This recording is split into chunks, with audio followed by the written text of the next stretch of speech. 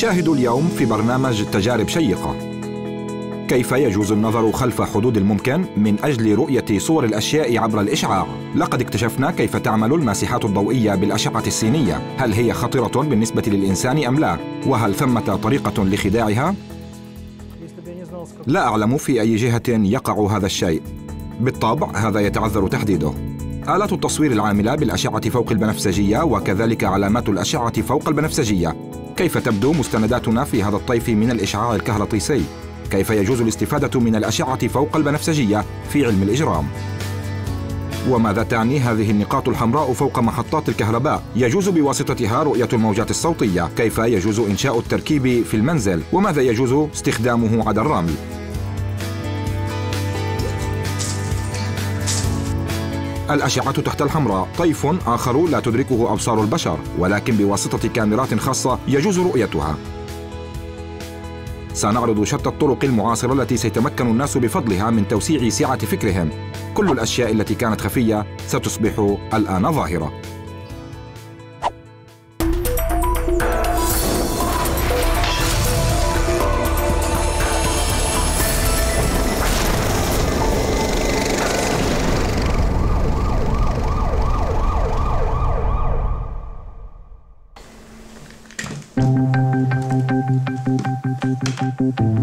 آلة التصوير الحراري العاملة على الأشعة تحت الحمراء. الرسام الحراري وحتى الكاميرا الحرارية لديها تسميات عدة لكن غرضها واحد ألا وهو أنه يجوز بواسطة التقنية كهذه؟ رؤية الحرارة بالمعنى الحرفي. تلك الحرارة التي تنبعث من كل الأشياء المحيطة. نعم الرؤية وليس مجرد الإحساس.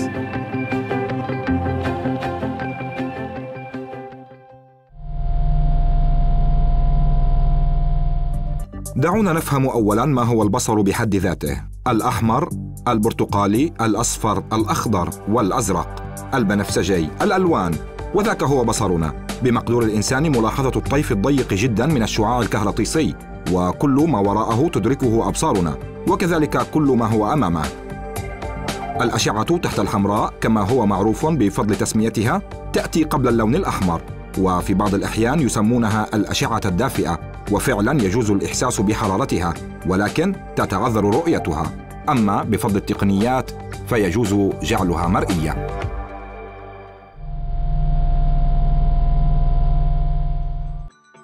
من كل الأشياء تنبعث الحرارة أو الأشعة تحت الحمراء وكذلك الموجات الكهرطيسية ذات الطول المعين تصل إلى 14 ميكرومتر. المصورات الحرارية أو الكاميرات العاملة على الأشعة تحت الحمراء بمقدورها إدراك هذا الطيف وتحويله إلى صورة مفهومة للإنسان. الألوان الكحلية أو البنفسجية هي أكثر برودة والبرتقالية الناصعة والصفراء أدفأ خلافا للرأي المنتشر. لا توجد في الطبيعة أشياء لا تشع بالحرارة. وحتى الجليد على سبيل المثال إذا عدلنا نطاق دفء الكاميرا العاملة على الأشعة تحت الحمراء فستضيء قطعة الجليد وكأنها متوهجة. وفقط الأشياء التي تعادل حرارتها الصفر المطلق. أي حوالي ناقص 273 درجة مئوية. لا تنبعث منها الحرارة ولا يستشعرها التصوير الحراري. لكن بلوغ هذه الدرجة من البرودة أمر مستحيل عملياً.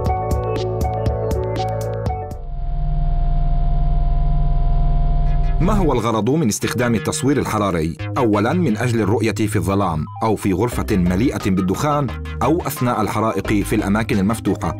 كل هذه العوامل لا تشوش على الأشعة تحت الحمراء، لذا يستخدم التصوير الحراري على نطاق واسع في الجيش بمثابة أجهزة رصد ليلي، وكذلك عند رجال الإطفاء. بغية تحديد مصادر الاشتعال والبحث عن الناس الموجودين في الأماكن المليئة بالدخان.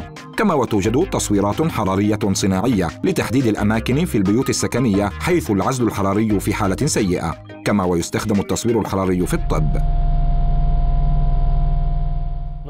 لكن هنالك أشياء مضحكة تستوعبها آلات التصوير العادية وكاميرات التصوير الحراري بصورة مختلفة. مثلا هذا كيس أسود من السوليفان. إذا حجبت نفسي به فالكاميرا العادية لن تراني. أما كاميرا التصوير الحراري فتتركز علي. وبالأحرى هذه أشعتي تحت الحمراء التي تخترق الكيس. لكن هذا ليس كل شيء.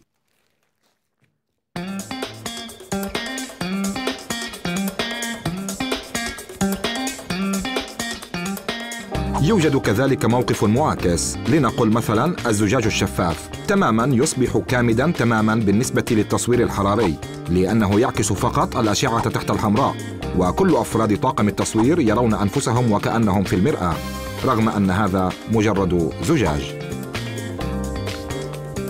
إذا وضعنا كوبين من الماء في أحدهما ماء بارد وفي الآخر ساخن. عين الإنسان لن تفرق بينهما. التصوير الحراري سيفرق مباشرة. الأزرق يعني الماء البارد. أما الأصفر الناصع أو البرتقالي فهو الساخن. وبالمناسبة إنه منظر جميل جدا. حين يكون شيء بارد وشيء ساخن قريبان من بعضهما. هكذا يبدو الماء البارد وكأنه نفط. وهذا ما سيحدث له إذا بدأنا نسكب فيه الماء المغلي من الإبريق. تبدو كل طبقات الاختلاط بين السوائل مختلفة. ضع يديك على الطاولة. اخلعها فلن ترى شيئا. أما التصوير الحراري فسيلتقط سطح الطاولة الذي صار ساخنا. والشيء نفسه إذا وضعنا على الطاولة وجها.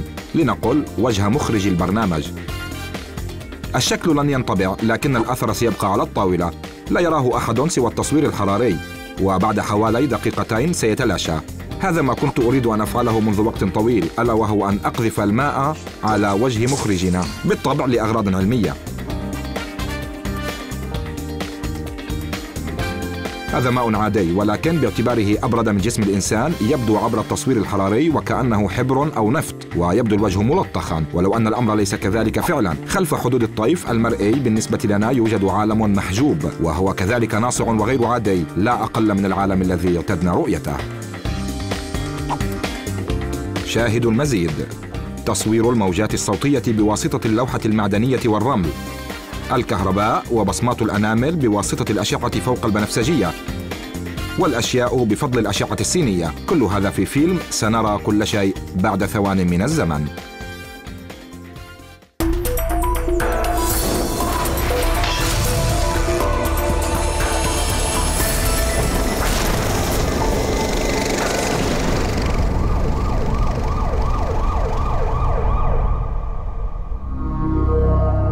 هل نستطيع رؤية الصوت بواسطة جهاز تعديل الصور في آلة التسجيل الكبيرة؟ وهل يجوز تمييز التأثير الصوتي؟ نعم، وثمة طرق كثيرة. واحدة منها هي التي غير عادية أبدا، سيعرضونها لنا في معهد الميكانيك لدى جامعة موسكو الحكومية. تمت التجارب الأولى لدراسة حركة المسحوق أو الرمل على الغشاء المهتز في نهاية القرن الثامن عشر.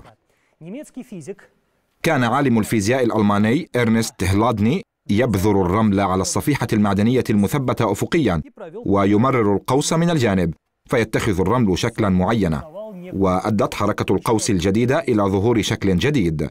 اليوم لن نحتاج إلى قوس كل شيء سيتم بصورة أخرى لكن النتيجة سنراها بعد قليل.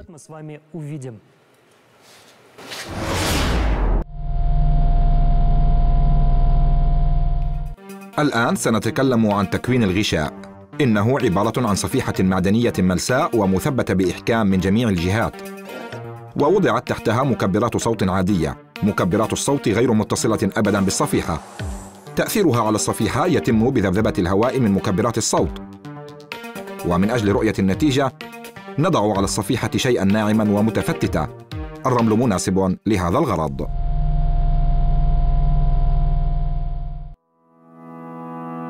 تبدأ مكبرات الصوت المركبة تحت الصفيحة الحديدية السوداء بالعمل.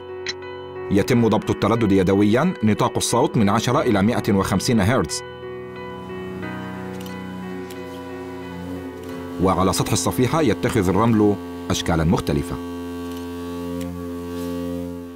عند الحصول على التردد المحدد للتأثير على الصفيحة يحدث تذبذب. تصور نواسا نستطيع تحريكه في لحظة ما ندفعه قليلا؟ وهذا يزيد نطاق حركته تماما مثل ما كنا أطفالا. كأرجوحة الأطفال. كنا نركب المراجيح. والشيء الأهم هو الدفع في الوقت المناسب. الشيء نفسه يحدث مع صفيحتنا. تبدأ الموجات الصوتية بتردد محدد ويتم دفعها مثل النواس أو أرجوحة الأطفال. يبدأ تأثير الصدى. والصفيحة عندما تهتز تقذف الرمل في مكان ما أكثر وفي مكان آخر أقل. إذا نظرنا من الجانب نرى كيف يحدث هذا وفي بعض الأماكن الصفيحة لا تتحرك وهناك يتراكم الرمل كثيرا. كلما هززتم الصفيحة أكثر سينقذف الرمل أعلى. أثناء التقلبات نحن نلحظ انحناء الصفيحة. وفي بعض اللحظات يطير الرمل إلى جهات مختلفة. وفي لحظات أخرى تتدلى الصفيحة إلى الأسفل. وحيث نلحظ مجال السعة القصوى وهو مجال الموجة الجامدة الرمل يهرب من هناك. أي لنقل بشكل تقريبي عندما تنحني الصفيحة. تنحني وتتدلى فالتقلبات هي منحنى الجيب أي إلى الأعلى والأسفل.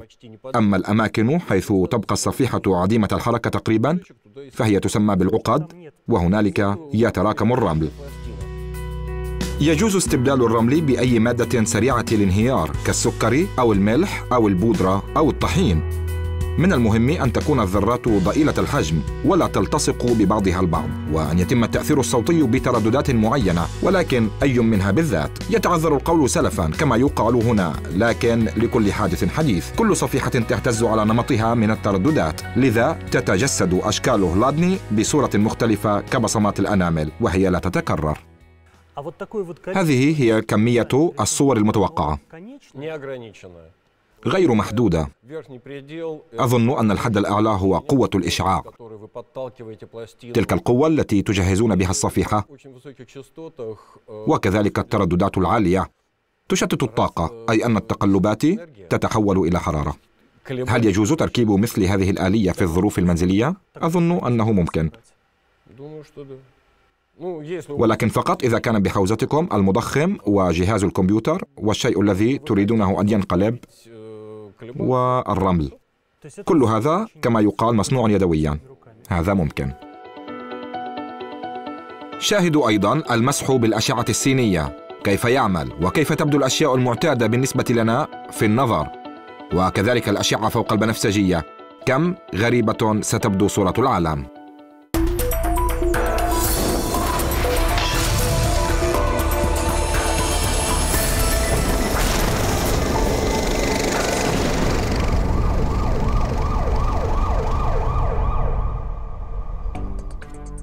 نحن حقيقة رأينا تصوير الموجات الصوتية أثناء إجراء التجربة مع شكل هلادني وكذلك عمل الكاميرا على الأشعة تحت الحمراء. وأمامنا طيف آخر لا تدركه الأبصار الإشعاع الكهرطيسي وهو الأشعة فوق البنفسجية. الأشعة فوق البنفسجية أي خلف نطاق اللون البنفسجي الإشعاع الكهرطيسي الذي يقع في النطاق الطيفي. بين الأشعة المرئية والسينية يتراوح طول موجات الأشعة فوق البنفسجية ما بين 10 و 400 نانومتر. عين الإنسان عاجزة عن رؤية الأشعة فوق البنفسجية ولكن توجد أولا الكاميرات الشبيهة بكاميرات التصوير الحراري التي تجعل الأشعة مرئية وكذلك التراكيب الفلورية الخاصة التي تضيء تحت تأثير الموجات فوق البنفسجية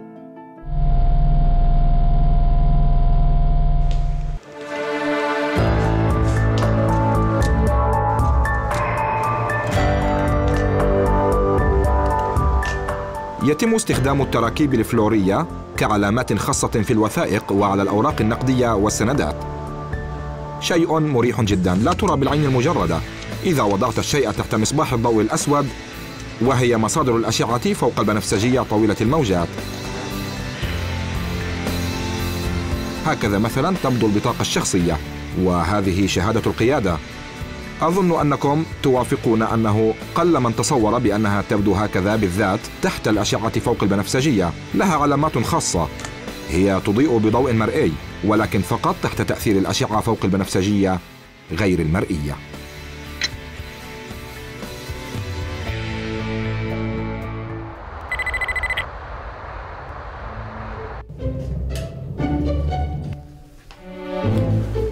علم الإجرام استفاد من هذه التراكيب والمساحيق المتألقة فإذا وضعتها مثلا على صفحة مجلة. وبعد ذلك أضأت مصباح الضوء الأسود تبدو البصمات واضحة تماما. حتى إفرازات جسم الإنسان تتفلور بصورة طبيعية تحت تأثير هذا الإشعاع. وفي الحلقات القادمة من فيلم سنرى كل شيء سنعرض لكم هذا حتماً.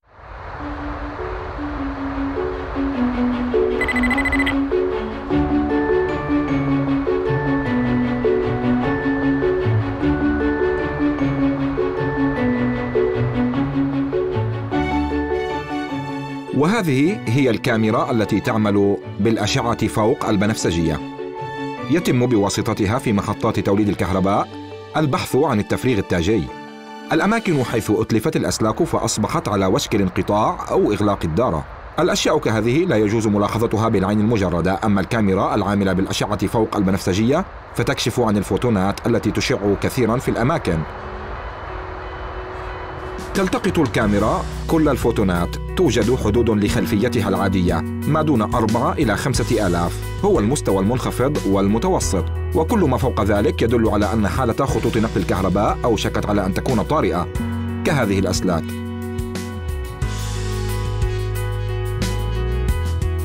انظروا أيضا الأشعة السينية واستخدامها في مسح الأشياء والناس.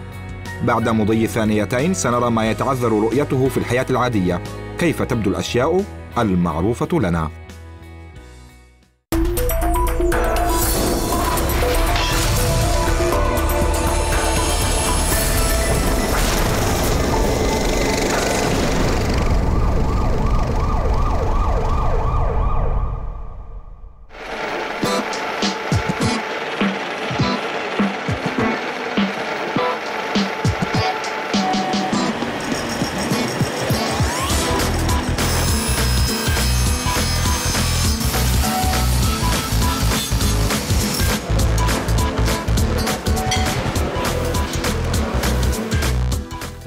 من سافر جوا ولو لمرة واحدة لعله رأى وعرف أجهزة مسح الركاب والأمتعة وهي تسمى كذلك. إنه جهاز التفتيش الشخصي وهذا جهاز الرؤية في الداخل يعمل على الأشعة السينية على شكل ناقل. الجهازان متشابهان تماما من الشكل الخارجي لكن مبادئ العمل متماثلة.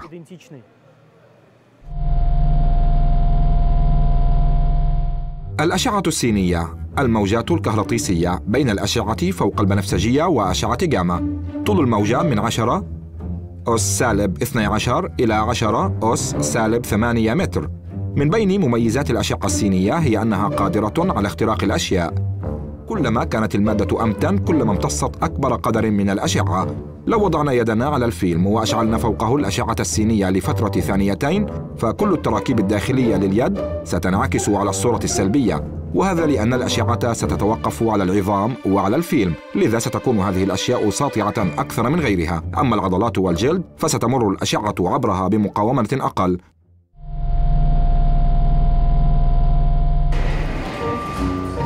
أما جهاز المسح العامل بالأشعة السينية فيستخدم تقريبا نفس المبدأ لتفتيش أمتعة الركاب. يوجد داخل كل جهاز لنقل بشكل تقريبي مصباح تنبعث منه الأشعة السينية بشدة محددة. وعلى غرار الفيلم يوجد خط ضيق من المادة الحساسة على الجدار المقابل لجهاز المسح. بما أن المادة القارئة للأشعة السينية ضيقة فجعلها بحجم حقيبة سفر شيء غير اقتصادي. لهذا السبب الأمتعة تتحرك. حين تمر الأمتعة عبر جهاز المسح كله فإن كل سنتيمتر يتعرض للكشف الإشعاعي وبعد ذلك تتجمع الصورة وتظهر على شاشة الكمبيوتر. الأماكن الغامقة هي الأشياء عالية الكثافة. أما الفاتحة فهي ذات كثافة أقل كالملبوسات والمواد العضوية. هل يجوز خداع أجهزة المسح العاملة بالأشعة السينية؟ الأمر هو أنه توجد مختلف الوضعيات للأشياء حين تغطي بعضها البعض والعاملون قليلو الخبرة في مثل هذه الحال قد يخطئون في دراسة الصورة ولن يلحظوا الأشياء الخطرة ولكن يوجد أولا احتمال أن الأمتعة ستتعرض للتفتيش الثاني وبوضعية أخرى. وثانيا على العاملين أن يشددوا انتباههم ويرفعوا من خبرتهم. جهاز مسح الركاب العامل بالأشعة السينية هو نفس جهاز مسح الأمتعة. والفرق أن في داخله لا يوجد الشريط الناقل بل الأشعة السينية.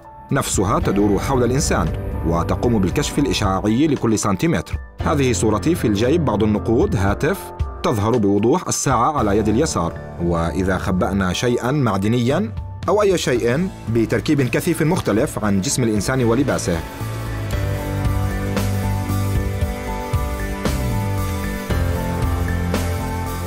فسيظهر كل هذا على التصوير بالأشعة السينية. وحتى ما وضعته في حذائي بصعوبة. تعال إلى التفتيش الأمني من فضلك. هل الأشعة السينية مضرة؟ الأمر كله متعلق بالكمية.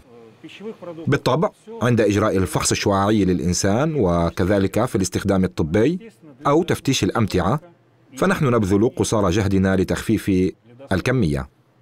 أي أن الكمية المستخدمة هنا ضئيلة جدا. هي تقارن بالإشعاع المحيط بنا. مثلا عند مسح الإنسان هو يتعرض لنفس الكمية من الإشعاع التي يتعرض لها في المحيط بصورة طبيعية. فإذا قضى ساعتين على خط عرض موسكو فإن الكمية التي سيتعرض لها ستكون قليلة جدا. والآن دعونا نلعب لعبة معكم. تحتوي هذه الأكياس السوداء على أشياء مختلفة. سنضعها واحدة واحدة في جهاز المسح بالأشعة السينية. أما أنتم فحاولوا أن تحذروا ماذا تحتوي هذه الأكياس. هيا بنا.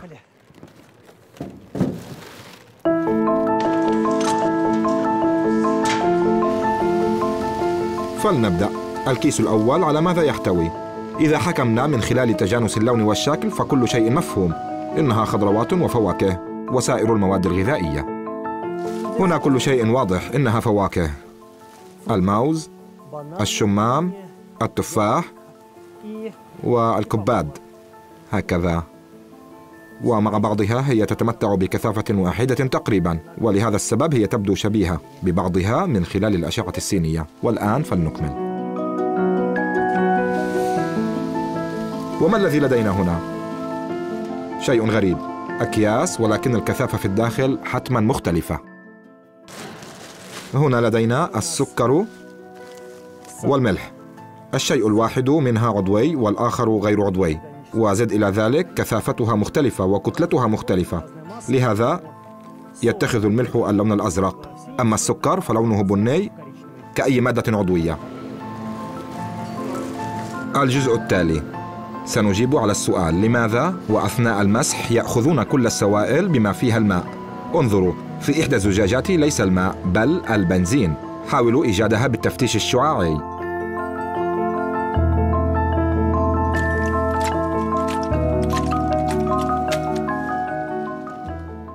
البنزين مع الكحول في هذه الزجاجة. لو لم أكن أعلم بسقوطها في أي جهة فهذا بالطبع يستحيل تحديده. أما خارجيا فهي تشبه بعضها البعض كثيرا. الماء والأسيتون والبنزين والكثير من السوائل بما فيها ذات الخطر المحتمل. كلها تبدو في الفحص الشعاعي كأنها واحدة. لهذا السبب تم اتخاذ قرار مصادرة كل المياه ومن الجيد أن الكل يعرفون ذلك.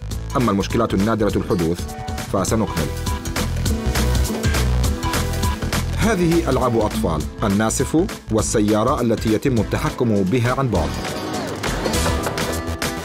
وليس من الصعب التخمين بأن هذا جهاز تلفزيون قديم.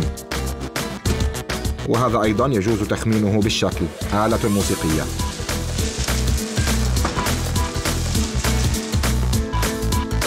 جهاز التسجيل. مضرب التنس والجيتار. وهذا أيضا مفهوم جهاز إطفاء الحريق. المخروط المعدني يتغير لونه بتغير سماكته في قسمه الحاد اللون أخضر. ولكن ماذا نفعل إذا كثر عددها وهي معبأة في الحقيبة بإحكام؟ هنا الأمر يحتاج إلى براعة وكذلك رد فعل سريع. من الطبيعي أن العمل على جهاز المسح يعتبر صعبا جدا. العاملون يتعبون دون شك. وقد نظموا بصورة جيدة المناوبات بين مجموعات العاملين وهي كل ساعة ونصف أو ساعتين. طبقا لتنظيم مناوبتهم يبدلون بعضهم البعض يستريحون وبعد ذلك يعودون إلى المناوبة من جديد. لقد شاركت بنفسي في مثل هذه الإجراءات لذا أستطيع القول إن هذه العوامل موجودة فعلا. ثلاث ساعات من العمل أرهقتني. يجوز للإنسان استلام البيانات بواسطة خمسة أعضاء عبر الجلد اللمس الأنف وعبر اللسان الأذنين العينين. ولكن حتى في واحدة منها وهي البصر نحن محددون بشريط ضيق من النطاق الكبير للإشعاع الكهرطيسي. وتخطي هذه الحدود هي إلى حد ما مهمة كل البشرية. أن نرى أكثر مما هو بمقدرتنا بواسطة التقنيات. أليست هذه هي الصفة التي تميز عقلنا عن عقل الحيوانات؟ حتى الحيوانات في بعض الأحيان ترى أكثر مما نرى نحن. إذا أنا الأوان لكي نغير هذه المسألة.